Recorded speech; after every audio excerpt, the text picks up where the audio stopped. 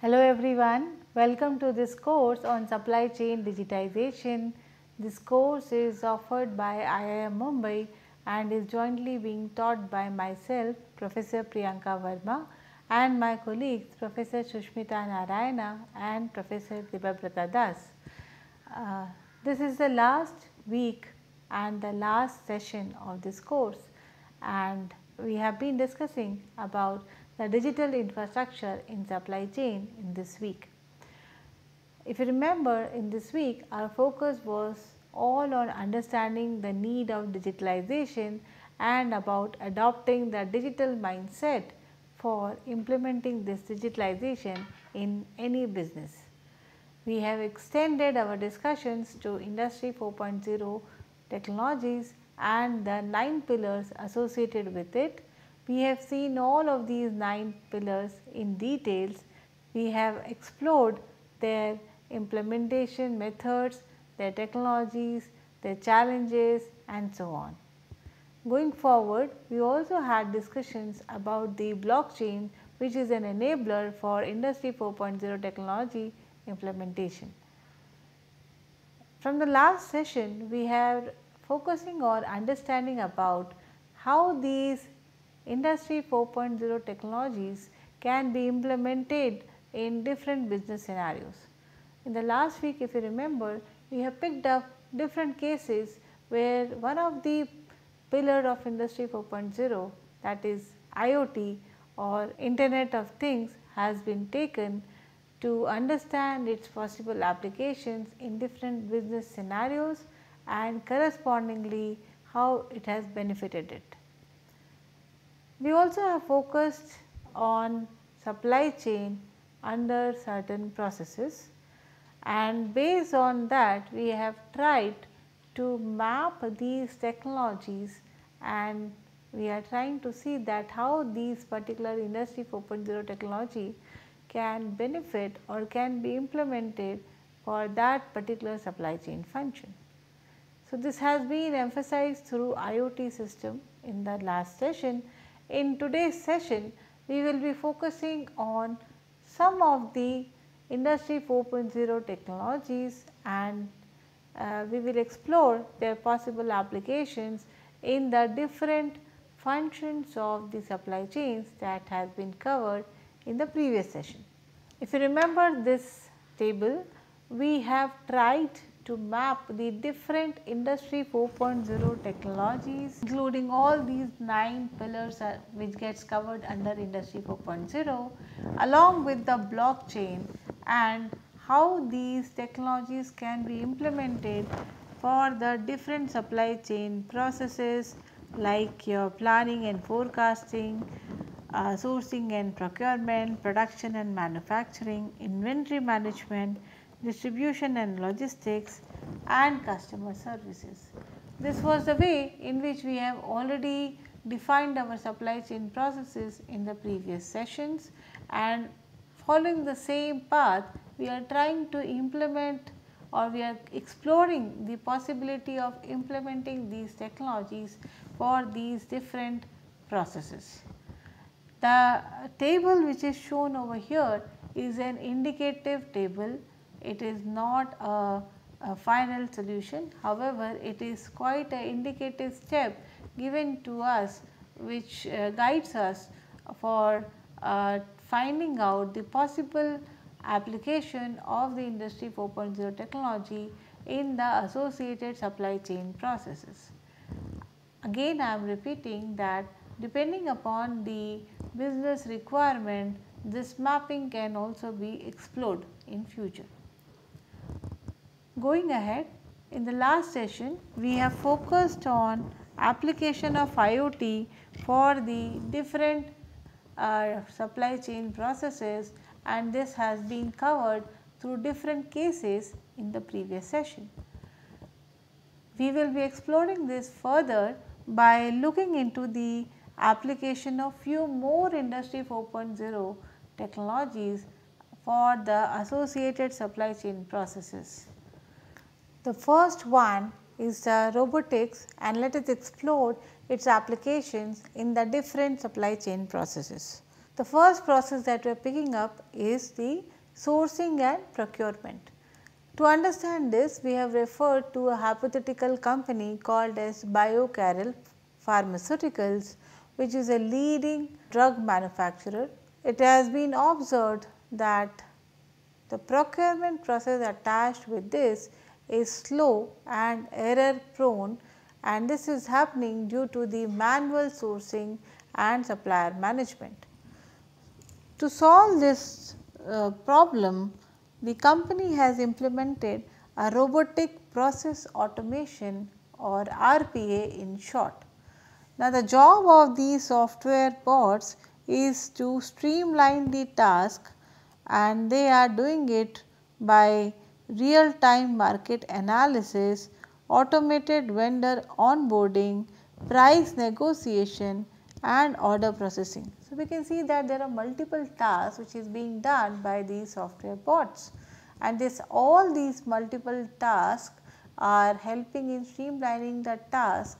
And at the end it is uh, contributing in reduction of the procurement cycles. And the stockouts are minimized. Finally, resulting into the cost savings because of the better negotiation and also because of the reduced errors.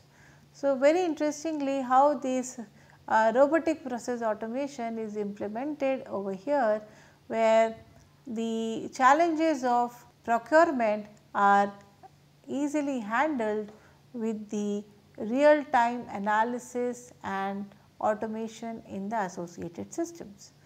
Let us look into the application of robotics into one more process. The second process which we are picking up is the production and manufacturing. Here we have a company called as Yanni which is a ukulele maker and this is a very again uh, skill requirement is there for this particular product. The product has uh, got a high demand in the market, but, but again the production capacity is not sufficient and this is mainly due to the unavailability or due to reliance on the skilled luthiers. So, here the idea was that can robotics be implemented in such a way that it uh, this reliance can be uh, reduced and the demand can be met. So, a robotic arm is introduced which is equipped with the different sensors and tools which are precise in natures.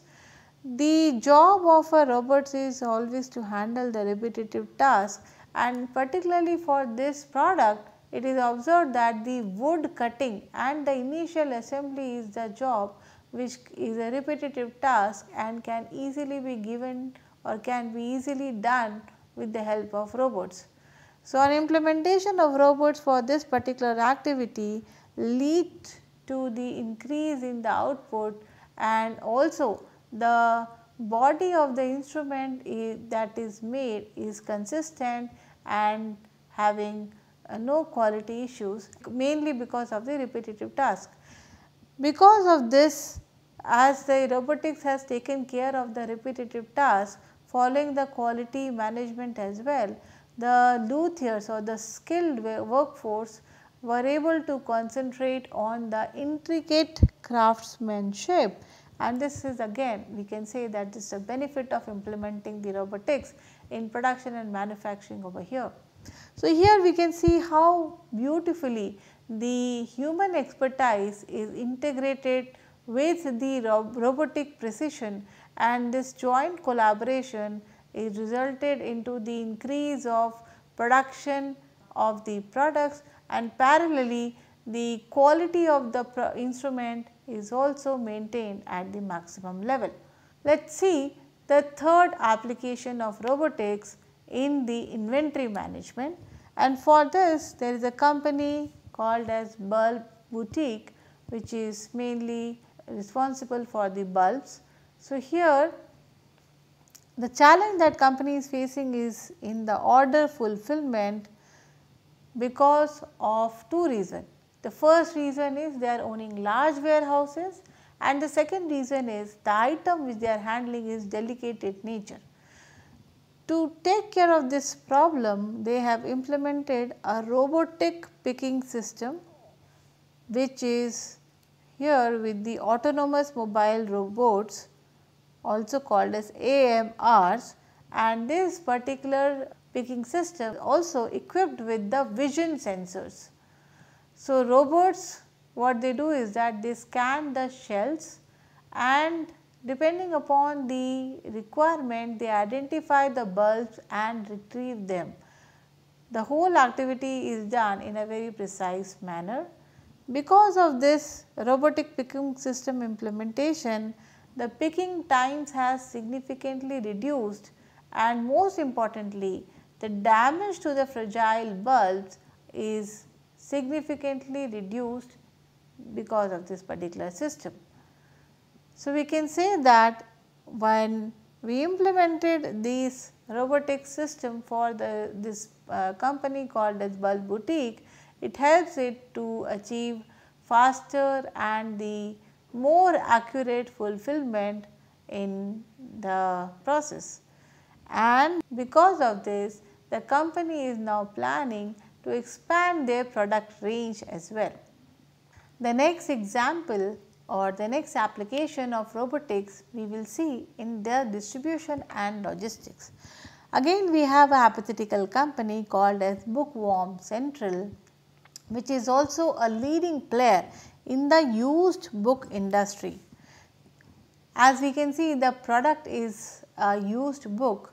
So, here the challenge with the with the company is facing is related to the unsatisfied customer and they are not happy because of the slow processing of the system. So, what they have done over here is they implemented a robotic sorting system and these autonomous mobile robots were primarily used for identifying and sorting and the photographing of the books. Because of this implementation of AMRs, the processing times are drastically reduced and uh, the data for all the book was automatically being uploaded and hence speeding up the listing process. The overall activities as we can see has resulted in the uh, reduction of the timing for the process and this is leading to the improvement in the customer satisfaction. The next process of supply chain where robotics can be influential or can be useful is customer service and to understand this let us look into this case of Shelf Reliance which is again a bookstore chain, but here uh, we can see that we are oriented towards customer service. So, here the challenge which is faced by Shelf Reliance is that the customers are facing long wait times uh, for the in-store pickup of online orders and this is due to slow manual retrieval from the tall shelves. To take care of this problem again the company has implemented a robotic solution which is again a robotic retrieval systems. Uh, you can see the differences in the implementation of robotics. In the previous example it was robotic sorting system, but in this particular example the focus is more on retrieval system. Though both the uh, cases are discussing about the book industry only, but the requirement for handling the books have changed in these two examples and hereby the robotics associated with them or the requirements associated with the robotics is also modified. So, in this case of shelf reliance we are talking about implementation of robotic retrieval system which is again using the primary autonomous mobile robots AMRs Again because this is a retrieval system, so that is why it is equipped with the uh, maps and the grippers and here these AMRs swiftly located and retrieve the books. Because of this robotic solution implementation, the wait times of the customers have significantly reduced uh, leading to the increased customer experience and hereby enhancing the in-store pickup efficiency.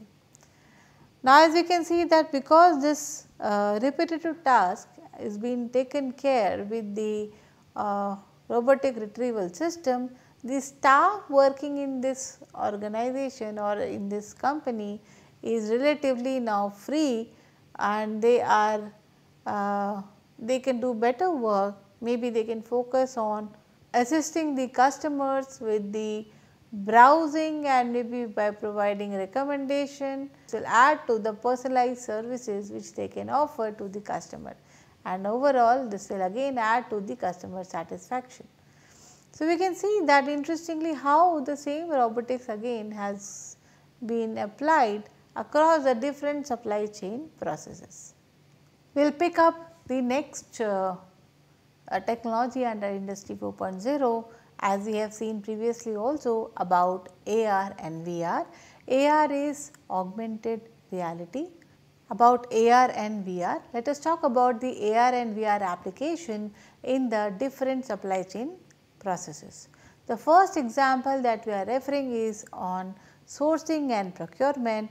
Again here there is a hypothetical company called as Acme Furniture which is a, a well known furniture maker, but here they are struggling with the managing the international suppliers. Their suppliers are uh, not local and hence the focus is more on ensuring the quality control. To look for these challenges, the company has implemented the AR VR solutions and let us see that how this is being used.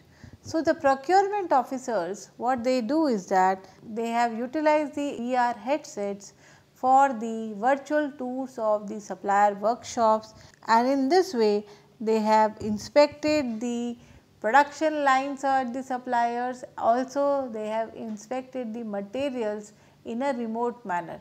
Similarly, the AR tablets were provided to the on-site inspector for the real time quality checks and highlighting the crucial dimensions and specifications. We can see that none of the uh, players in this have to travel and that is why the travel cost is significantly reduced um, whereas you had a better control on your sourcing decisions, the supplier management is more effective, the requirement of the products can be seen that it is followed or not and hence there is a better control of quality using this method. The next function we will pick up is production and manufacturing so, we have a company called as Honey Honeywell Aerospace which is again a hypothetical company which we have picked up and this company is involved in making the complex aircraft components. So, the challenge which the company is facing is related to the wiring installation and the accuracy related to it and also they want it to be highly efficient. When this job is done using the tra uh, traditional method by following the traditional paper based manuals, there were lot of errors happening because of the misinterpretations and also leading to the delays. So, when the AR was introduced, the technicians wore the AR glasses overlaying the aircraft structures with the digital wire paths and the connection points we can see that how the errors got minimized, the assembly speed got improved and parallelly the safety protocols were followed. Similarly, when the VR simulations was implemented here, it led to the engineers to virtually walk through the aircraft and identify what are the challenges which are there related to the maintenance and optimize the access point. So, we can see that the implementation of AR VR in the production and manufacturing function helped in reducing the wiring errors, speed, speed up the assembly and also it enhances the long term maintainability. The next function is again uh, customer service. Uh, this is again proven through a small case of a company called as Mika, again a hypothetical company, which is a global furniture giant. When the customers visit this uh, furniture uh, company, they want to visualize the furnitures in, in their homes. So, basically they want to understand that how that particular furniture will look into their places. Sometimes obviously because of the brand and because of the quality the customers end up in the impulse buying behavior, but as it is not suiting to their requirement the returns is also very high. So, this is uh, challenging the company for managing this impulse buys and returns behavior at the customer end. The solution which has been checked over here with the help of AR is giving a AR showroom experience where the customers could virtually place a 3D furniture models in their own space. It is not that they have to travel to the uh, furniture shop, they can just place a 3D image of their furniture model in their space and it can be very easily done in their own smartphones or tablets.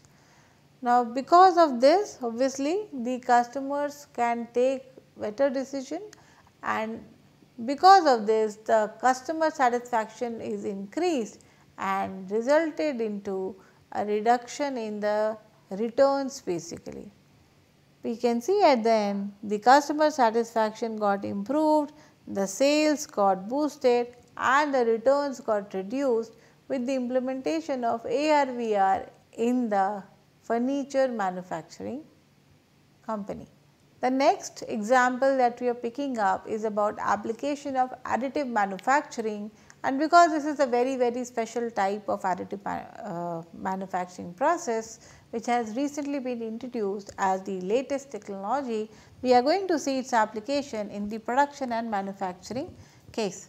So, there is a company again named as RoboPulse which is a toy making company. Now, because of some uh, problem or malfunction of the gear in their star robot toy, there is a delay in the overall process. So, when the company persons tried to fix the issue using the traditional methods, it would take weeks for substituting this uh, malfunctioning gear with the better option. So, now this had been a holiday season and thereby the demand for this product is going to be very high. To overcome this challenge, the company has uh, looked for applying the additive manufacturing or 3D printing as a solution. So, what the company's engineers have done, they have designed a print and printed a functional gear which is uh, printed using the high strength nylon and because of this the production could be resumed within the days because of the 3D printed gear and this help in ensuring the on time delivery of the product ultimately resulting into uh, prevention of the significant financial losses. So, the waste can be minimized by using only necessary material and directly printing the complex design. This is one of the most uh, significant benefit of applying additive manufacturing in any supply chain processes.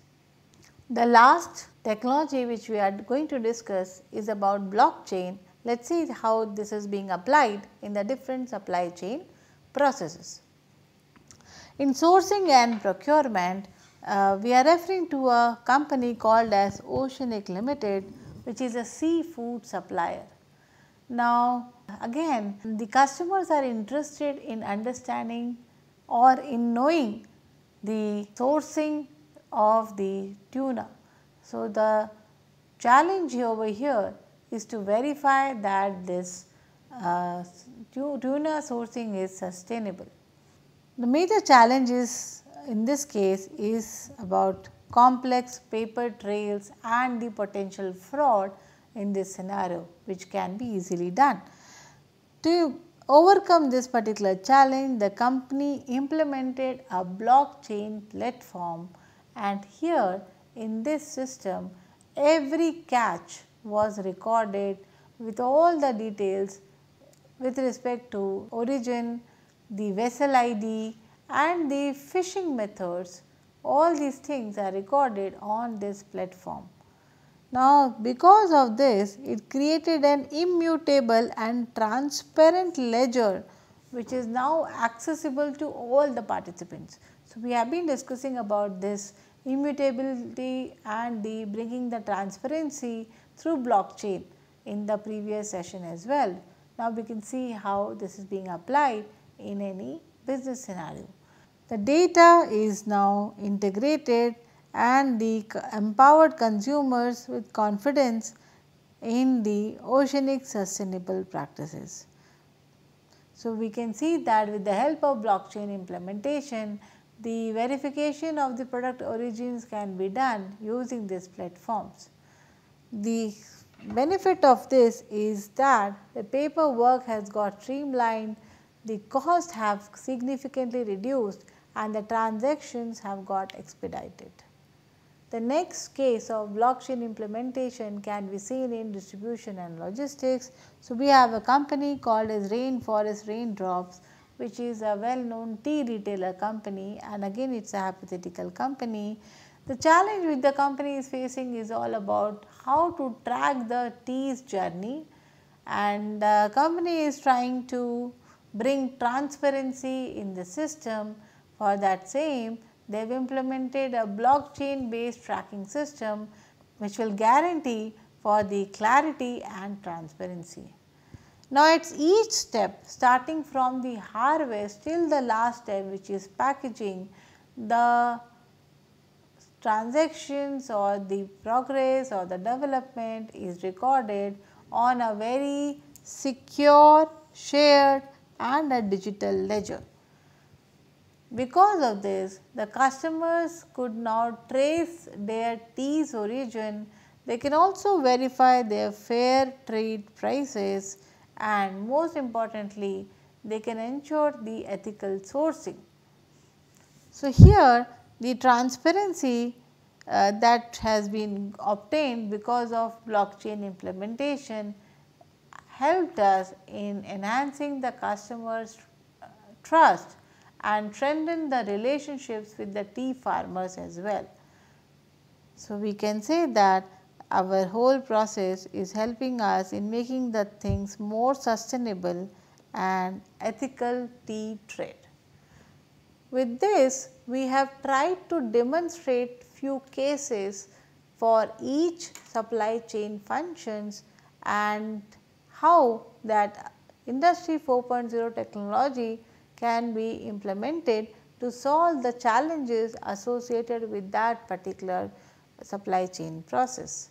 We are now coming to the end of this course where, where we are going to close the fourth module as well. In this module, our discussion was more on understanding the digital infrastructure in the supply chain and we have discussed the different digital solutions that can be implemented in a given supply chain. This brings us to the end of this course and we hope that the concept of supply chain digitization is helpful to all of us. Thank you everyone. Looking forward to meet you all in future. Wish you all the best for your upcoming exams. Thank you and all the best.